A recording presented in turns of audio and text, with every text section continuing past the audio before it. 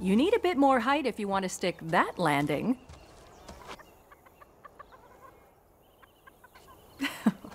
You're determined, just like your father. Being a musketeer is a serious job, and it can be very dangerous.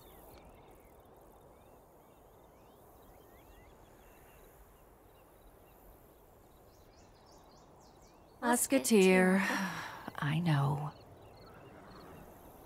Then I suppose you'll need this. It's a letter to Monsieur Treville. He was a friend of your father's. I've asked him to look out for you.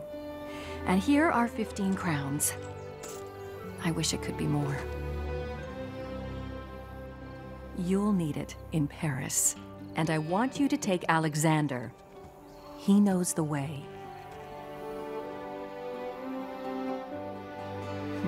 Let's eat, and then off to bed with you. You've got a big day tomorrow.